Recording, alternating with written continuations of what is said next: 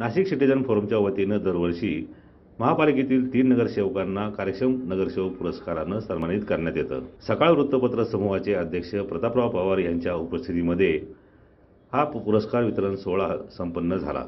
फोरमच्या वतीनं देण्यात येणाऱ्या तीन नगरसेवकांपैकी एक होते स्थायी समितीचे सभापती आणि नामको बँकेचे संचालक नगरसेवक गणेश किते स्वतःच्या प्रभागासह शहरासाठी केलेलं काम स्थायी समिती सभापती पदाच्या माध्यमातून नाशिककरांसाठी घेतलेले हिताचे निर्णय विकासाभिमुख कामं करण्यासाठी विशेष निधीची तरतूद जनसामान्यांशी असलेला त्यांचा दांडगा संपर्क सभागृहात आपल्या खास शैलीनं प्रशासकीय कामं करून घेणं जास्तीत जास्त विकास कामं करण्यासाठी निधीचा पाठपुरावा करणं असे निकष गणेश गीते यांच्या पुरस्काराची निवड करण्यासाठी लावण्यात आले होते.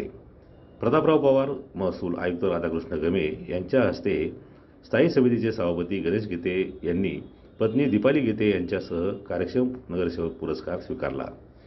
याप्रसंगी फोरमचे अध्यक्ष हेमंत राठी उपाध्यक्ष आशिष कटारिया सेक्रेटरी अविनाश पाटील माजी अध्यक्ष डॉक्टर नारायण विंचुरकर सुनील भायबंग प तसंच पदाधिकारी त्याचबरोबर निवड समितीचे सदस्य दिव्य मराठीचे कार्यकारी संपादक अभिजित कुलकर्णी लोकमतचे वृत्त संपादक संजय पाठक डॉक्टर अतुल वडगावकर उपस्थित होते. शाल श्रीफळ प्रशस्तीपत्र आणि सन्मान चिन्ह देऊन गणेश गीते यांचा सन्मान करण्यात आला.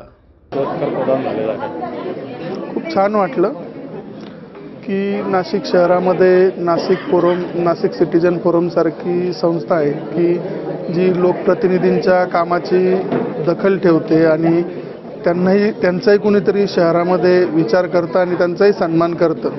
त्याबद्दल मी नाशिक सिटीजन फोरमचे आभार मानतो. नाशिकच्या विकासाला आर्थिक चालना देणं हेच उद्दिष्ट ठेवून फोरमची वाटचाल सुरू आहे. नाशिकमधील समविचारी नागरिक आणि लोकप्रतिनिधी यांना एका व्यासपीठावर बोलून त्यांच्याकडून नाशिकसाठी काय करता येईल याचा विचार विनिमय करत चर्चा घडून आणणं हा फोरमचा उद्देश. नाशिकच्या विकासासाठी हा उद्देश नक्कीच फायद्याचा ठरेल असा मानस प्रतापराव पवार आणि राधाकृष्ण गमे यांनी व्यक्त केला.